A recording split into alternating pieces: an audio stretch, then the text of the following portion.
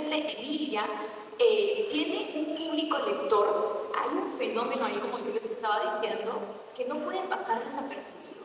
¿Qué elementos poéticos trajo? Desde mi lectura, yo sentía que era, y es así, ¿no? Era la primera vez que los versos de una mujer me hablaban directamente a mí. Sobre todo en un tema tan poco debatido, tan poco dialogado en el espacio público como es la sexualidad, el erotismo, eh, como es el amor entre los amantes.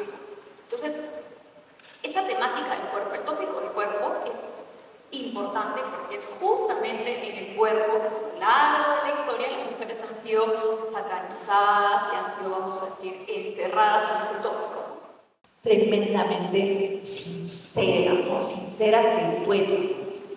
Ella, a través de estos poemas y otros poemas y todo el libro en general, nos ha dejado a nosotras un tremendo legado. Un legado y un reto que es el reto de las mujeres, que entramos en el ámbito de lo literario, que luchamos dentro del ámbito literario y que sabemos que algún día vamos a abrir las alas como una.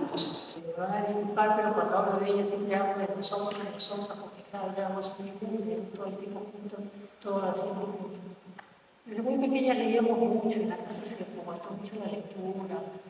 Eh, mi papá compraba los pocos libros, y nos leíamos todo, ¿no? Entonces, ella después, comentaba un visto hace poco, que visto, no era la chica que llega a San Marcos, a ver qué fue, no, ella sabía lo que ella sabía lo que era la literatura, había leído bastante y además era bastante... Uh, sacaba cachitas a la gente cuando dejaba la boca abierta, ¿no? había leído, porque sí había leído bastante, ella era la lectora perfeccionada, ¿sí?